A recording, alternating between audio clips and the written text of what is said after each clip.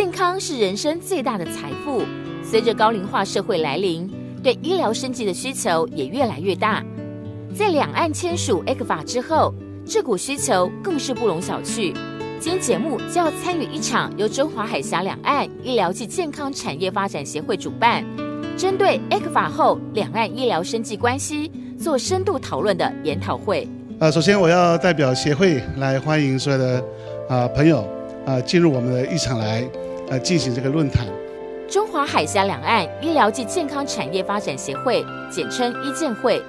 创立至今已满一年。成立以来，一直致力于推动两岸医疗健康之合作与升级。呃，起初成立这个医健会最重要的一个目的，是要配合啊政府的政策，啊推动产业的发展，尤其是以两岸为主，跟国际为主的这个产业的发展。由于会员多为产业界人士，嘉怡理事长本身是立法委员，所以在政策面及实务面上都能兼顾。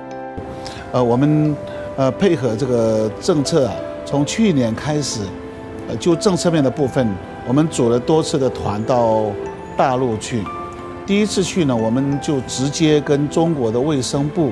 啊来对话。哦，我们分了三个梯次来谈。怎么样让两岸的产业能够缩短时间，尽快的达成一个垂直联合，呃，甚至合纵连横这样的一个机会？政府多年来积极支持生技产业发展，甚至设立钻石行动专案辅导产业，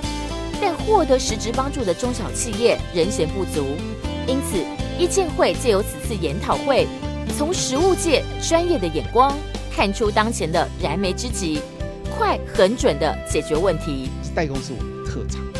始终如此，到目前为止还是如此。这样，我们的优势在生物产产产业里面是最没有价值的一段。我们的优势是最没有价值，真正有有优势的是什么是要要做研发，要做实际的研发。所以，我们这次的议题啊，让这个生机业者跟创投业者能够一起在一个平台上来互相呃讨论或者是沟通，做一个平台，我们是不是有可能？呃，让民间的这个创投业者很清楚的看到我们的生计业者的需求。整个医疗生技产业大致上可以分为药品、医疗器材研发制造及新兴生技三个区块，而产业发展方向往往取决于市场需求。呃，生技产业最重要就是要有好的一个市场来引导我们的研发、我们的商品化的流程。在 A 克法签署后，两岸医疗生技可以直接的接触合作。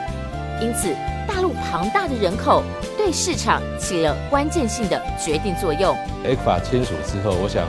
呃，大陆市场以及如何连接大陆的制造能力等等，来攻占国际市场，是我们生技产业目前的状况以及需要努力的一个方向。既然已经取得进入大陆市场的入场券，那么如何真正打入其国内市场？善用这块腹地就变得更加重要了。从这个机会里头所带动的，就是说台湾能够未来在研发新产品的时候，怎么样定出一个更清楚的一个市场战略，能够呢争取大陆的一个内需市场的一个发展机会。台湾企业富有弹性活力，且在产品的创新、国际化管理团的经验丰富，而大陆则相对不足。双方若能结合优势，必定能共创双赢。破违法最主要是要争取在跟大陆呢各个不同的省市，因为最主要是要抢占通路，在通路上头呢进一步跟它进行策略合作。那这样的话，台湾的产品在大陆的市场就有更好的一个管道，能够进入大陆的内需市场。台湾生技产业最强的优势在于能提供高品质的医疗服务与医疗管理，让医疗行为真正成为一种服务。这也是大陆地区所欠缺的最最强的项目，应该是医疗服务。把台湾的医疗服务，呃，复制复制啊，哈，在呃大陆是一个非常好的一个项目。A 克法时代来临，不论是政策面、法律面上都多有松绑。未来政府应致力提供好的资金环境，并团结国内力量，共同打下。大陆这块大饼，呃，政策政策方面的法律的松绑啊，还有实际面的啊，这个融资啊，跟税务的协助之外，啊，当然最重要的就是，呃，我们呃这些台商到了大陆以后啊，啊，因为大陆是非常庞大的一个市场，我们最好就是不要单一作战，我们必须要集体的，哦，一个团队的一个组织的到大陆去，所以政府必须要带头来做。生技产业是未来生活的重要一环，两岸之间由于文化、生活方式很相似，